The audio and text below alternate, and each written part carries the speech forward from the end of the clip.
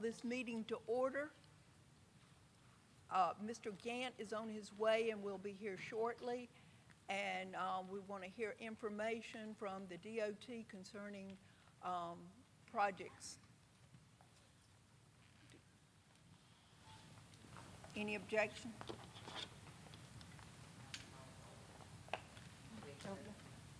Um, Do you move that we No. Okay, I do. Okay. Okay. Thank you. Thank you for this opportunity to hear about this.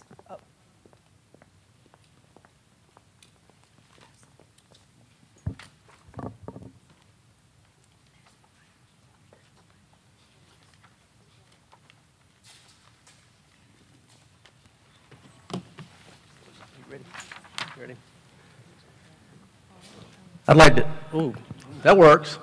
I'd like to introduce Mr. Zach Haney, who's a transportation project manager with Mead and Hunt, and he's here to provide information regarding the proposed improvements to Columbia Avenue and how it relates to Chapin High School. Zach, I'll let you take it from here. Uh, He brought a contingent with him. I'll let him do those introductions. Hello? Okay. The board is here, yes? Okay, sorry. Um, As Mr. Richardson said, can everybody hear me? Sorry, I'm speaking to everybody's, uh, not their face. Myself, uh, my name is Zach Haney, uh, along with Mr., this is strange, okay, Mr. Barry Still. Would you guys mind if I turn this around? You were trying to find somebody to talk to, weren't you? I was. I don't care. It was. Right here. I felt alone up here. Um, like I said, my name is Zach Haney. Uh, I'm here with Barry Still from Mead and Hunt, and also Jeff McNesby, who's the project manager for the county of Lexington. Um, to give you guys kind of a brief overview, this is an SCDOT project, uh, but the county has stepped up and become the LPA, or what we call local public agency, to manage the project. So it's still an SCDOT project, but it is being managed by um, Lexington County. Uh, To give you guys a little bit more, the COATS, um, Columbia Area Transportation Study, identified this project as a priority project, and we had a meeting with uh, Dr. Ross, Mr. Hiller, and a few other individuals from the high school back in November of last year, and they asked us when we feel comfortable and we're at a point to come and speak to the board specifically to see if you guys have any questions or concerns or anything like that. So we've gotten to that point. We've met with the DOT, Federal Highways, and we feel like we're at a point to where we can come talk to y'all, answer questions that you guys might have or specifics, and if you guys have any feedback from us, please let me know. Um, Okay. The, uh, the purpose and need of the project, I'm sure as you all have, have driven the corridor, uh, what we're calling the corridor is between I-26 interchange and US 76, where it crosses the railroad. Uh, Currently, the traffic volumes that we could find when we started this project was back in 2013. So between the interstate and Peak Street, there's just shy of 13,000 cars. So there's 12,500 vehicles per day that use between the interstate and Peak Street. Um, With projections and traffic modeling, in the next several years, by 2040, we're expecting about 16,700 vehicles to use the road that's right out in front of the high school that y'all just used. Um, Between Peak Street and Amicks Ferry Road or 76 Chapin Road interchange, or intersection, um, there's about 8,900 vehicles per day. So with forecasting and, you know, growth, we're looking at about 11,900 cars, about a 33% increase.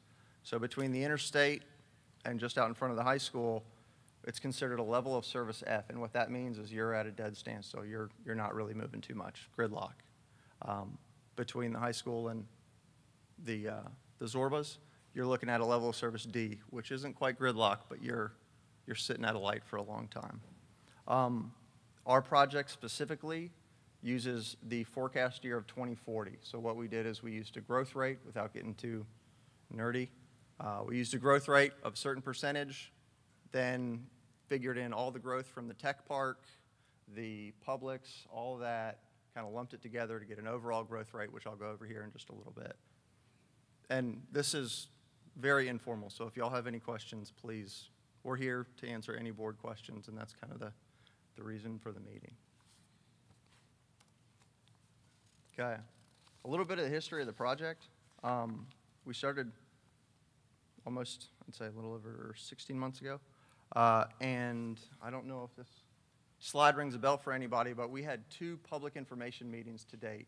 Um, The first one was in November, and then the last one was in July of this past year. So it kind of looks like a spaghetti of colors up there, and really what that is, is that's 31 total alternatives that stretches all the way from the west side of Chapin, all the way over to about the intersection of Wood Thrush Road and Columbia Avenue. And the reason we did that is because this is a corridor project. We had to improve the congestion along Columbia Avenue corridor. So take my word for it, there's 31 alternatives in that little mix of, of colors and whatnot. Um, the two public information meetings we had were very, very helpful. They basically allowed us to come up with what, if I say alternative nine or 9A, that's just kind of the, the lingo that we've been using. Um, so what that helped us do was get public comment and public feedback and kind of, I guess, modify some of these alternatives to fit the comments, fit the uses, fit um, what people were considering the character of Chapin. And I would like to state that I do live here. My wife and I have lived here for a long, long time, so I'm not somebody from out of town that's coming in. I'm, I'm going to use this road probably just as much as y'all will. Um, some of these alternatives that you see up there were considered but eliminated for things like railroad crossing. You're not allowed to add a new railroad crossing without removing a certain number of existing crossings. Uh, The, one of the big things, the big public feedback was, please do not impact the character of the town of Chapin. Um, The residential and commercial businesses that are around here, we tried to minimize impacts as, as much as we could. Uh, And what I'll do later after this presentation is kind of, if there's any specific questions, use a Google Earth file to kind of help zoom into things if you guys have specific questions about that stuff. Um, We've also, as I mentioned to um, Superintendent just a moment ago, we have talked with other stakeholders as well, Mount Horeb, Chapin United Methodist Church, Our Lady of the Lake, Signode, those kinds of guys, and anybody else that would willing or have specific questions, we could answer those as well. Now, to kind of give you guys just a brief overview of the high school itself um, and how it relates to the project, you'll see the Columbia Avenue in front. You'll see a yellow line, some red lines. The yellow lines that you see close to the existing roadway, that's the existing right-of-way. That's what the DOT currently owns and maintains between those two yellow lines. Um, I'll be able to zoom in here in just a moment. Then you'll also see the red lines. That's our proposed right-of-way. And we're using a section through there, which I'll get into in just a moment, uh, what we're calling a five-lane section. It's basically two lanes in each direction with either a center median or a two-way left turn lane. Um, And then also, you'll see along the west side of the high school, you'll see, well, actually, you really can't see it that well at all, so I'll just skip this part, jump right into the typical sections and show you guys the Google Earth file. That'll be a little bit easier. Okay, like I said, the, um, the five-lane section that we're talking about using is two lanes in each direction. It's relatively similar to what's already there with the addition of a new lane. Um, You'll see two lanes into town, two lanes out of town, and either a 15-foot landscape median or a two-way left turn lane. Um, It's going to be an overall parkway design. That's the mentality that the county has wanted us to use and the DOT has wanted us to use. And it's also going to be bicycle and pedestrian friendly, which I know is another big, big part of the public comments that we received was it needs to be pedestrian friendly. Um, Now, along the opposite side, the west side that we couldn't see, uh, is going to be what we're calling a three-lane section. What that means is basically, it's a one lane in each direction with a designated uh, either center turn lane, two-way left turn lane, or a planted median. Um, You can also see this section is also bicycle and pedestrian friendly. It provides a multimodal form of transportation. Okay. Um, y'all bear with me one second. I will switch gears. And please, like I said, this is, this is very informal. If y'all have any questions, please don't hesitate to ask. Uh,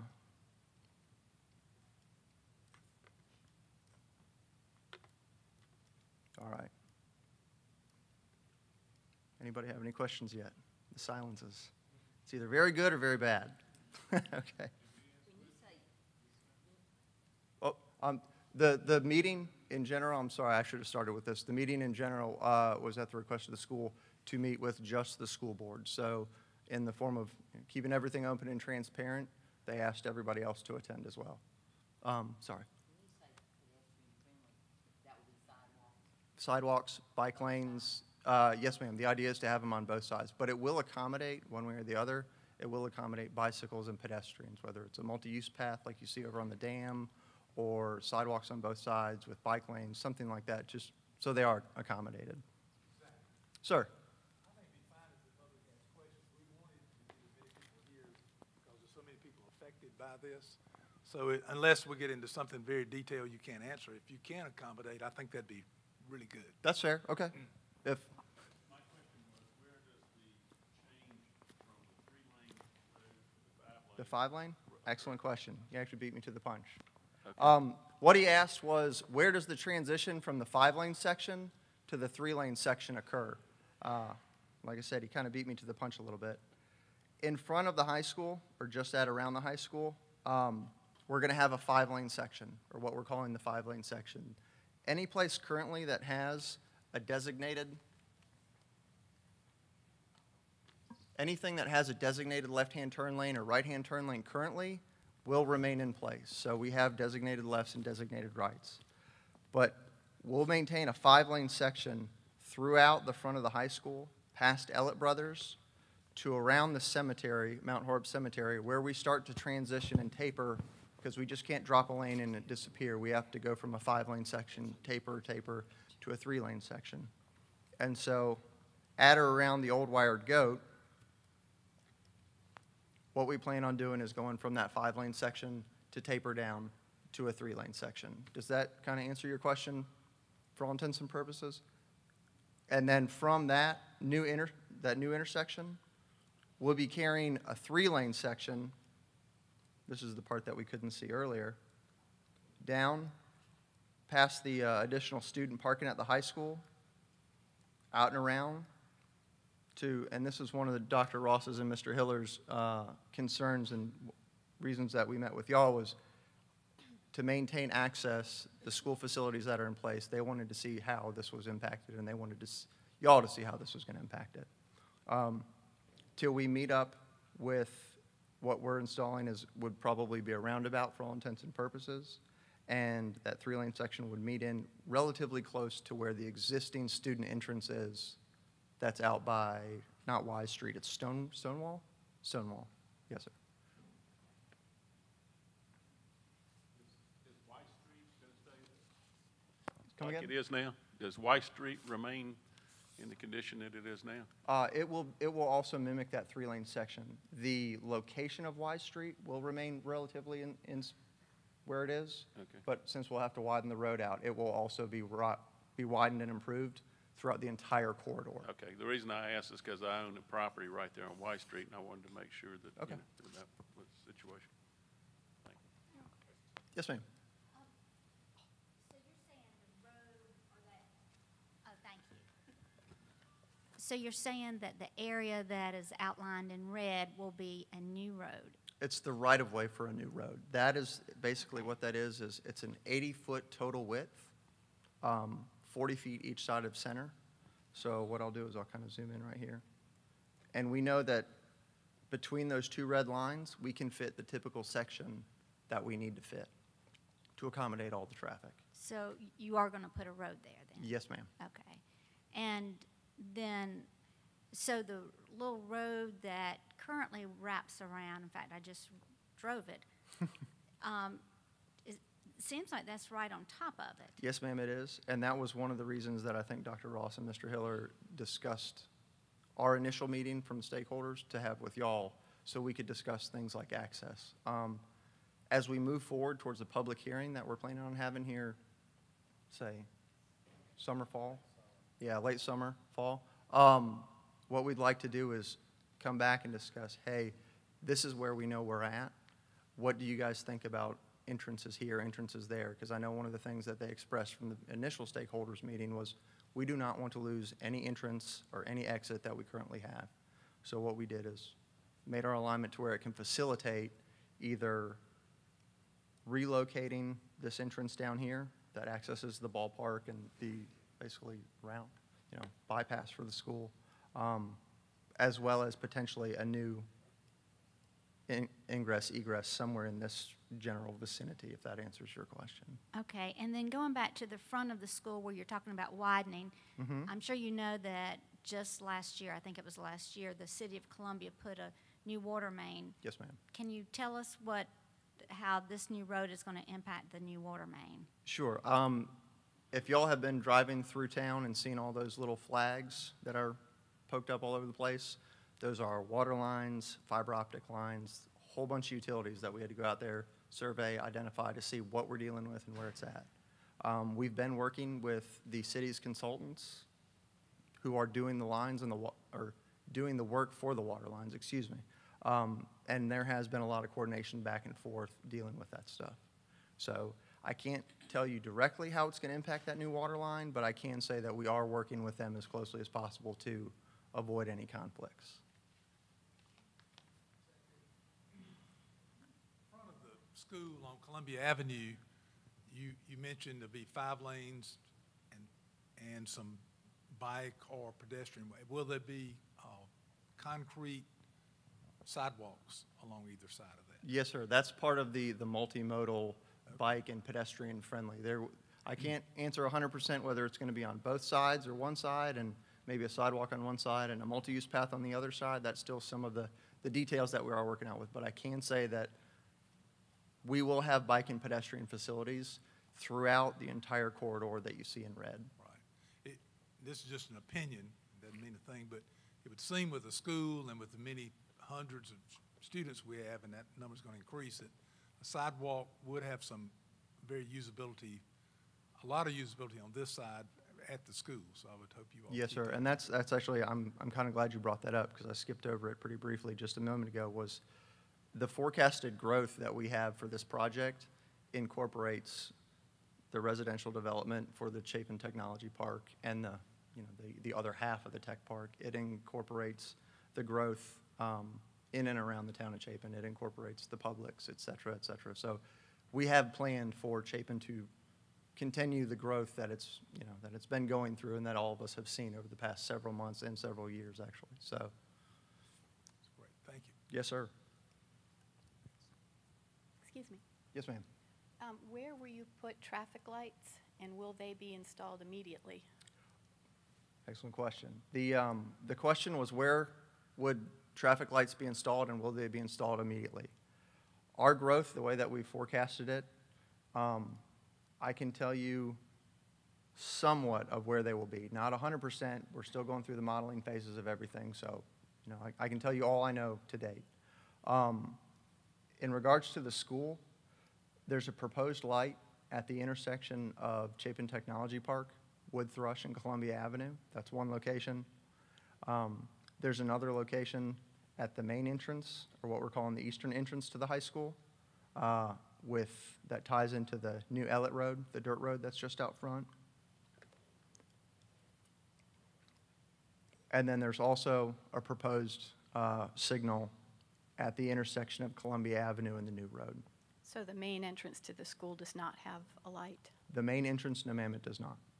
As of, as, like I said, as of now, we're still working out all the details and whatnot. So that's, um, when we finalize our, uh, traffic modeling, what we plan on doing is bringing all that information to the public hearing that we're planning on having around end of summer, fall-ish time. And then you also have the, the parking lot that is to the west of the entrance, the student parking lot, and Yes, ma'am. bus.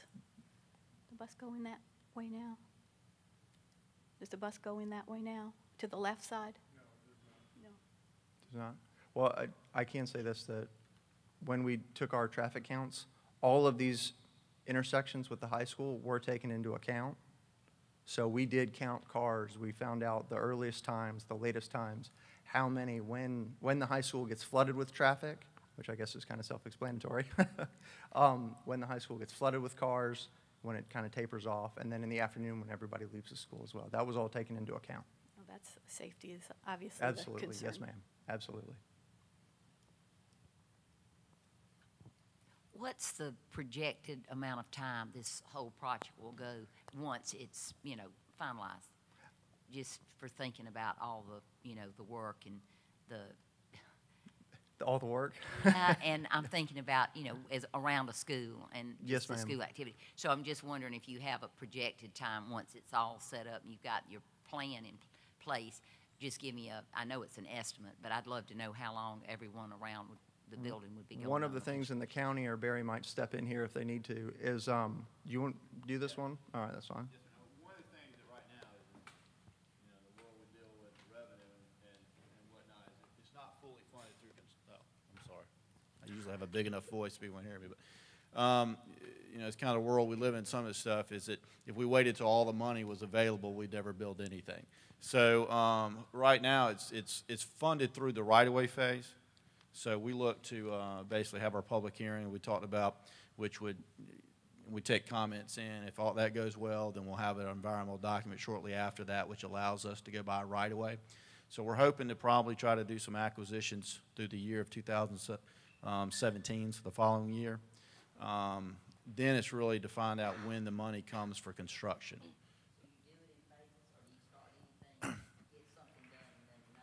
Well, I think really probably what this would serve is it probably would be done in its entirety. It's not a lot of places you can cut up. So really it's going to have to do with wh- when the construction dollars come available. We think the project itself, once it comes available, is probably a two and a half year project to build. Yeah, it's, it's when, when it's funded, then I think probably about two and a half years after that, once the construction dollars come, to- come to play. Yes, ma'am. Uh, Yeah, speaking of construction dollars and engineering dollars, um, it, it seems like you were saying the money will be exhausted through the easement acquisition phase and engineering phase? Or can you explain where, where you are financially with this and when you anticipate funding? to start? Well, right now, it's, it's partially funded. If we- It's basically, it's set up about thirteen million dollars to do the engineering, do all the studies, and then do the, um, to do the right-of-way phase. There's not been money identified that we see as of right yet. It may come tomorrow. I mean, it's identified through COATS as a, um, as in their long-range priority plan. Um, You know, there's, you know, we thought at one time it may be funded a little quicker through the one cent sales tax, but that didn't happen with Lexington County. Um, So there's several mechanisms that could happen. Right now, we don't see an identified construction for it yet.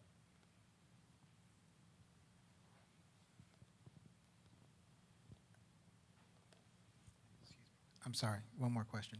Can you go over the exit? Is it the student exit out the back where you're talking about the roundabout? Yes, sir. Can you talk about how that would work with the uh, children come out the back of the school and, and what directions or how that would look? Okay. Um, what I can show you here today is basically the rough location of the roundabout.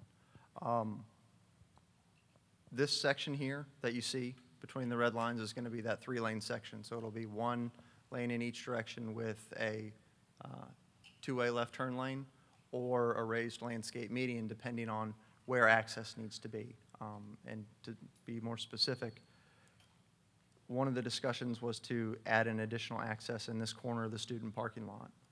As, you know, as, as we move through and we have further discussions with the high school, the plan would basically be that this location would stay relatively the same as far as how students can get in and out of the school, as well as how students can access this side road as well. Does that make sense? Okay. Um, So for all intents and purposes, the location of ingress egress really won't change a whole, whole lot. Just instead of having a T intersection next to a driveway, next to another driveway, next to a, you know, a fourth driveway, what we're going to do is combine all of that into one roundabout because the traffic volumes that go through here are very even and would support a roundabout really, really well.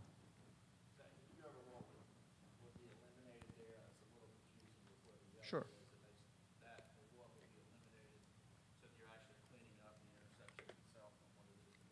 Right now, you can see the entrance to Signode. You see the entrance to the high school. You see the driveway that goes next to the baseball road, or what I'm calling the baseball road. And then you see the actual baseball road. So we're basically going to take a five-point hookup or a five-point intersection almost and turn it into a roundabout. So that way people, because a lot of the movements here are kids getting out there, taking a right-hand turn to get out and away from the high school. So to facilitate that traffic as easily as possible, just give them a roundabout and let them keep going. Yes, ma'am. I have a little bit of a concern with the roundabout because many of these students are new drivers. And roundabouts can be confusing even for experienced drivers. And understand the motivation and maybe in normal places, Mm-hmm. you might want to use a roundabout. But um, this is just my, my No, comment is that I would, I would think that we would take in consideration that these are new drivers and it could be, is very confusing for some Yes, people. ma'am. That's, and that's absolutely something that we can put a little bit further thought and discussion into, and that's, you know, that's an excellent comment. I really appreciate it. Zach, one last question. Yes, sir. The, how much of the traffic would be siphoned off by this new road from Columbia Avenue going into the town of Chapin, you know, as it goes now, as it exists now? From our, from our traffic modeling and forecasting, we assumed twenty-five percent, which basically errs on the side of caution. So the more people that use the new road, the more effective Columbia Avenue in its entirety will be, and thus improving our purpose and need and, and addressing our purpose and need even more. So if thirty, just, this is all hypothetical, so if thirty percent of the, the- of the vehicles use the new road, then that will make Columbia Avenue a little bit better, and so on and so forth. You lose thirty-five percent, a little bit better, forty percent, et cetera, et cetera, et cetera. One thing I've noticed, I go to work every morning down uh, Columbia Avenue, and uh, I've noticed that a great improvement in the traffic since the school board put in the, the entrance and, and all of the course contour that the drivers have to go to get to the school takes up a lot of the, takes a lot of pressure off the road. Is Uh, that going to change because of this? Are you referring to, I guess, what I'm calling the baseball road, this? I, I don't know, but, This but guy? it seems to, since the high school, you know, was renovated, I expected there to be more traffic on Columbia Avenue, therefore, you know, it'd be slower to get to the interstate. But that's not the case, because it's, it's, you know, it's not a problem now. Well, if, if anything, what this new road will do will also help facilitate taking cars off of Columbia Avenue, whether it's from the high school or whether it's people coming home from work that want to try and cut through and cut around to, say, Lexington Avenue or even Amicks Ferry. They'd also have the, you know, Columbia Avenue option and the new road as, as another option. So it might, it may be improved, not, not decreased from what it already is. Yes, sir. Like I said, our, our assumption was about twenty-five percent, and that's, that's a very conservative assumption. In addition to accounting for the growth from the tech park, the normal growth that the town of Chapin has seen over the past numerous years, um, the new Publix that's going in, all of these things have been taken into account to get this right the first time. Does that answer your question? I, I feel like that was a little vague, but was. Excellent. Excellent, okay.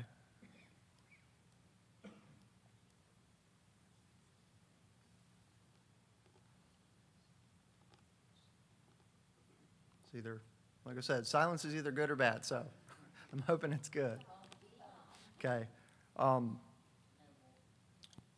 We, like I said, what, what I'd really like to conclude with, if anybody has any other questions, is we plan on having all of this along with impacts, right-of-way agents, um, the interchange design, all of that buttoned down so we can present it to the public at the public hearing, which, like Barry was saying, is, is planning on for the end of summer, fall time. So we'll, I don't know if you guys remember the signs that were everywhere, or people receiving things in the mail, or things like that. We, I think we set out almost 4,000 individual mailers to people's homes and businesses to let them know of the public hearing. Um, We've had special requests from churches, from, you know, local community groups to advertise this as well. So we plan on reaching out and touching everybody in regards to the public hearing. So chances are you will find out about it in one way, shape, or form. So, yes, ma'am. Um, You may have already answered this. I'm, I'm, I'm sorry if you already have and I've missed it. Um, Where is the existing right-of-way right now in front of Chapin High School? Yes, ma'am. The, um, what we have here, and this is, these are all surveyed lines, but they're brought into Google Earth, so there's a little bit of wiggle room that you kind of have to understand. The yellow lines that you see here are existing right-of-way. It varies between, I think it's uh, 50 feet total width and 66-foot total width. Um, And what we're proposing are the red lines, which will be approximately 130 feet total width, or 65 feet each side. And, and I see that that not only encroaches on some landscaping that was just um, planted, but also um, the access in and out. Yes, ma'am. It, I mean, the, the access at each of the three locations for the high school will have to be taken into account um, in regards to the landscaping. Uh, This project is going to be done in two phases, as Barry kind of touched on. We're going to do the right-of-way first, and then once we get a solid hold on that, we'll start construction plans. And like the typical sec- sections have showed, and some of the other stuff that we've discussed, there will be landscaping done in and around the medians, um, you know, areas like in front of the high school that, you know, we can, we can best accommodate for if, if, if it's there.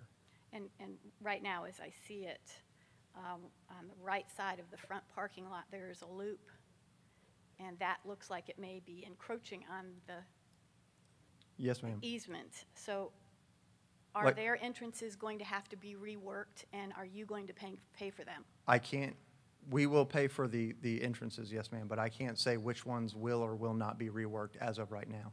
Because we got to the point, from our initial conversation to say, hey, when you guys are ready, please come meet with the board and let them know what's going on. So that's, that's kind of where we're at. The, um, even though the, the red lines are there, that doesn't mean that's pavement to pavement.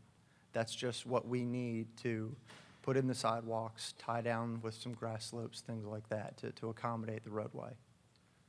But now's the time to take care Yes, of reworking it, because in the future, if that school district pavement on your easement, it could be destroyed at the cost of the school district. If, if we go in and destroy any accesses or pavement, it will be replaced. There, we're not going to go through and, and just cut one out altogether, if that makes sense, yeah. To be very clear, our intention, every bit of access that you have right now, you will have access in the future. Yeah. And there's, there's no intention of removing any Yeah. access out there. I was just curious. um, You you im- indicated the uh, transition down to three lanes will be just beyond the, um, uh, close to the old wired goat location. Yes, sir. That's beyond that cemetery wall. What happens to the Mount Horeb Cemetery The wall? Mount Horeb Cemetery wall, we're doing everything that we can to avoid it completely. So that um, means all of the construction would be on the We, other side? we have met with the state, or, I'm sorry, we've, we've been discussing with State Historic Preservation Office about the importance of that wall. And not only that, we've actually met with Mount Horeb Church and their elder council. And they have said that is the one thing they are very, very adamant about was keep the wall intact, so. Yes, ma'am. This is a process question. I appreciate and I understand how the government works to get all of the different inputs, but also know about, you know, right-of-ways and eminent domain and, Yes, what the state can do. In this process, when you hear from all these entities, and then you take it back to, you know, the powers that will get this started, you really can't assure us uh, that everybody's idea and everybody that everything we're worried about, you know, whether we're a church or our school board and our students, you in the long run can really you have the power to do it however is best for the I guess, the good of The the greater whole, good. which I understand. Yes, ma'am. And like I said, we're, we're trying to take into account as much public involvement as we can. We, basically, the, the government says you have to do about this much public involvement. Yeah. And we have done a significantly higher and above meeting with individual stakeholders, business owners, developers, uh, individual property owners, um, churches, councils. We've, we've tried to do as much as we can to get as much feedback and as much input to try, try and satisfy the whole, as, if, if that makes sense. And I- And I understand that, and I appreciate that, and, and I, I don't mean to make you feel on the spot. I think what I'm trying to, to really say in public, though, even though they're concerns, in the long run, you just can only take those concerns and do the best you can to get to the point you are gonna get to. And, and that's, that's kind of what we're trying to do, especially with the public hearing that, that's coming up. Um, We'll have another kind of forum like this that's relatively formal, uh, where people can make statements, have questions, and we, the design group and team, the county, the state, we actually have to respond. We have to have a formal response to the comments. So if there's a question, it will get answered. And, you know, I can't promise you're going to like what it is, but it will get answered and it will be explained. Thank you. So, yes, ma'am. Yes, ma'am. And I don't think I did a good job asking my question before. It's not necessarily just access, but it's flow back in front of the building. If As- that is As far as oper, like, the operational efficiency of the traffic in and the around? flow in the parking lot for the school, It's- it's out in front. well, If one- that's impacted, do you help design a flow that will work Mm. and pay for that? We are taking into account, like I said, the, asked, you were the one, asked the question about the proposed lights, correct? Yes. So, right now, there are no lights in front of the high school, which makes it a little bit more dangerous. So what we can do is, if we do install the lights, that will help the operational efficiency. And what the ultimate purpose and need of the project was to, from the interchange to basically what I'm calling Zorbas, or, or the intersection of Amicks Ferry Road, 76, and Columbia Avenue, is to improve the operational efficiency and the congestion it, within that corridor. So we do not have a project if that is not achieved. So I can stand here and tell you that the operational efficiency from the interchange to that location over by the, uh, over by Zorbas and the railroad tracks will be improved. I understand that part. But if this interferes with the flow of the traffic in the existing parking lot right now, Mm-hmm. what do you do to rectify that? Not only can we add additional access points, like I just mentioned earlier, we can install things like longer signal times, uh, additional right-hand, left-hand dedicated turn lanes that will move traffic out and away from that pinch point. Um, Things like the roundabout or a, a longer signal time that you set up through a certain span of time can help facilitate that operational efficiency, not only at one parking lot or another, but throughout the entire corridor. Yeah, see, they're, they're, con- they're parking lots that connect to each other. Oh, yeah, I mean, it's almost like the, the entire school is interconnected in some way, shape, or form. Yes, ma'am, I, Right.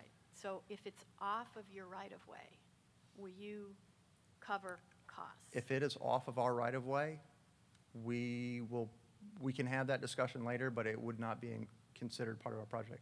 Now, if there are impacts to a driveway or a connecting point, we will have to facilitate, you know, basically cost to cure, if you will.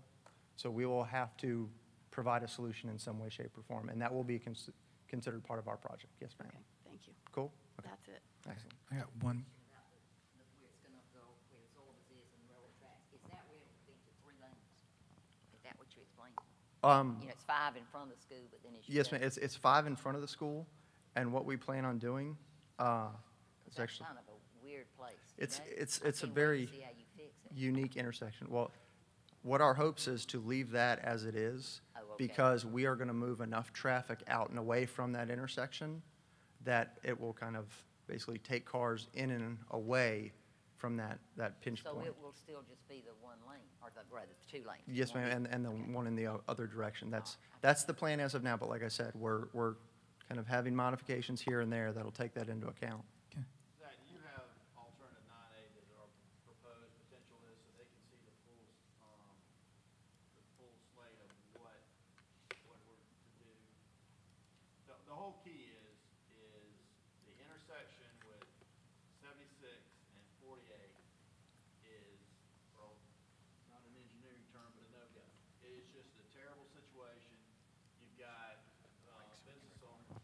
sorry, but we need to. Okay. You've got businesses on, businesses on top of each other, and you've got a railroad track that is just a few feet from the intersection. It's really, our whole thought process and what's gone through all the gyrations of things we do, the 31 alternatives, have led us to say, we need to go around it and not really add any more traffic to that area. So what you'll see in, in alternate nine, nine A, and I don't want to steal his thunder, he'll go over that right now, but just gives you the big picture of taking people off of that intersection. You'll be able to pick it up at, at uh, Amicks Ferry and come all the way around. So that, that's the whole thought process behind that. Because basically what we found out through all the research and studying and, and traffic reports and everything else was there's three major arteries to the lake that are the main traffic generators. It's St. Philip's, um, or St. Peter's Church, Amicks Ferry, and Lexington Avenue.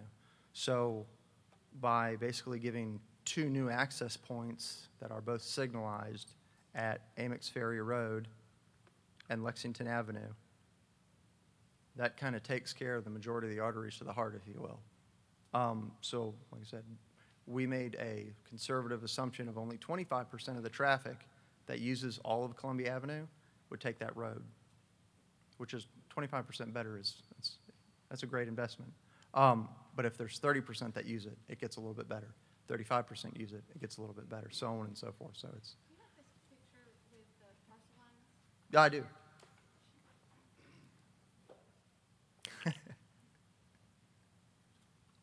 Yes, sir. Can you show me where the wired goat is on your map there?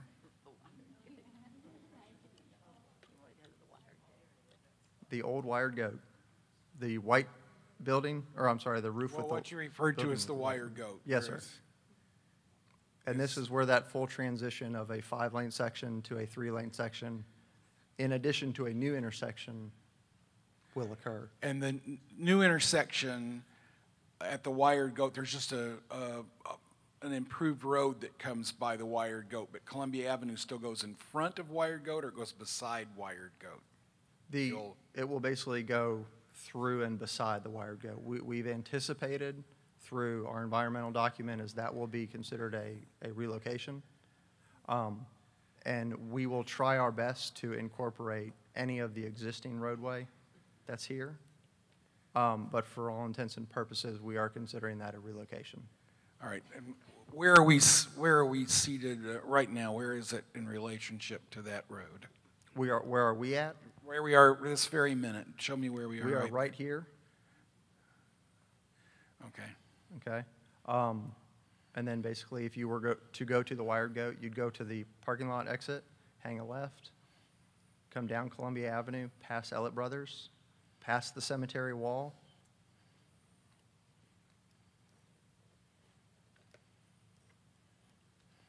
And that is where the new intersection would be. and then that road comes back around by our property. Correct, yes, sir. It goes down if you follow the red, past that additional student parking area that, oh, sorry, that's over here. Then it goes and goes between Wise, Gra- or the old Wise Graphics is now Signode, and then the student parking area and the track, and then hooks up to Stonewall Court. Thank you. Okay, yes, sir. And I got one more question about traffic flow out. Yes, sir. Oh, okay. The, uh, for the students coming out the back of the high school, since you got it right there. Now, if they go to the left, they're gonna go back or back over toward Wise, Wise Drive, right? Back over the railroad tracks where the new wired goat is now? So if they go that way. To the right, I guess, yeah, if they're Okay, coming so out and they they- turn to the right. At that interchange, because I saw that it was red that was going straight across, is there going to be, or do you know, uh, projections for a street light at that intersection of 76? Or anything to control traffic there? Like, I said, the, the traffic light location is still tentative, um, so I'm just answering it to the best of my. Sure. abilities. As of right now, we do not foresee a light at 76. It will just be a stop condition. But that is subject to change. I just want to make sure I'm clear about that. Sure. Okay. Yeah. Okay, thank you. Yes, sir.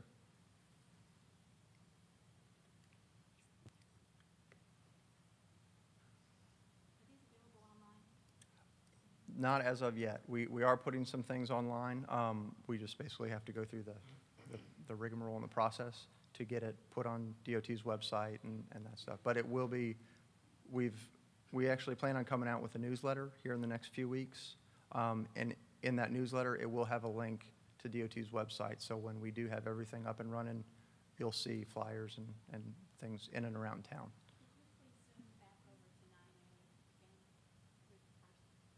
With the parcels? More or less? Uh,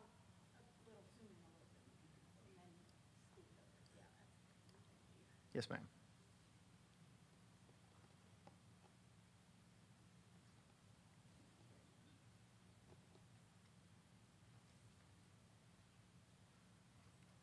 Yes, ma'am. You guys, you know, you you have to be blind to not know the pop, popping growth, you know, of the Chapin area, the lake and all that. But do, you have, you have to come in here when it's the certain number of cars and like your research that you did? Yes, Because, you know, I, I mean, I'm just so saddened that, you know, our Chapin's finally got everything fixed up and then we had the water thing and, and now we have the, I mean, you know, timing is so, you know, inappropriate to me for our students right The- now. But I, I understand the whole big picture, I really do. And I, and I, you know, appreciate where you're coming from. So in no way am I trying to, to, to make the DOT feel bad, because your, your obligation is to all of the, the drivers and to make it safe and to, but, but I did think about what, when you are looking at this growth, you had to wait to, it was a certain amount.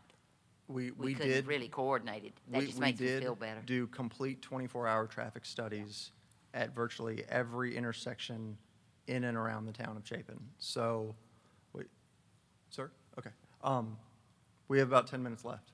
So to answer your question, I guess directly, we did do traffic counts for 24-hour periods in addition to, like I said, I, I graduated from Chapin High School. I, you know, my wife and I still live here, so we use these roads on Saturdays, on Sundays, Tuesday afternoons, Monday evenings, whatever the case may be, whether we go to Zorba's and eat dinner. But we, we do feel very comfortable with the, the, not only data that we've gotten, but the engineering that we've, that we've performed.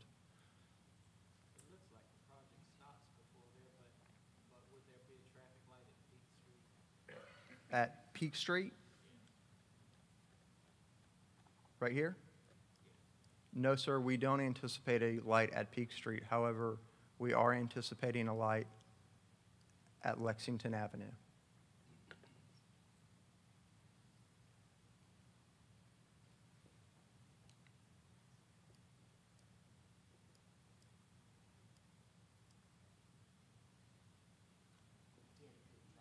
Thank you, ma'am. I appreciate that very much.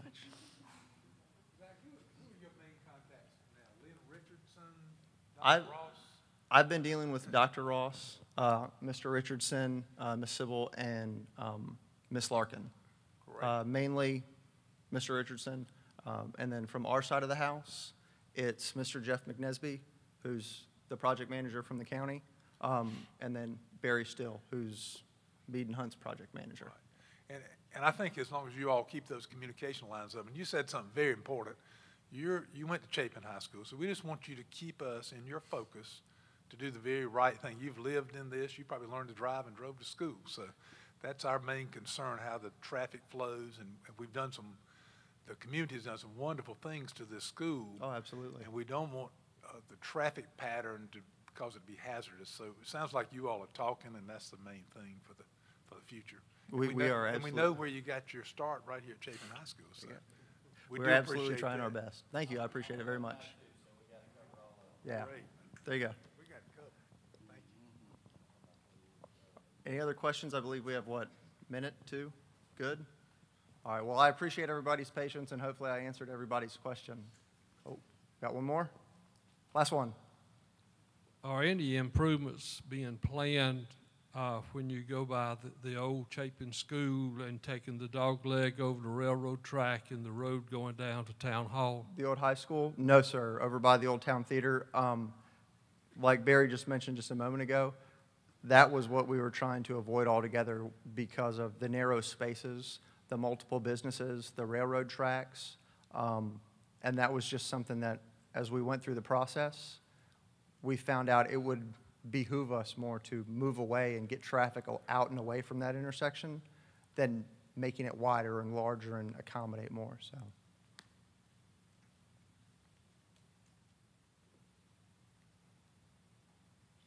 All right. Appreciate y'all's time. Thanks, sir.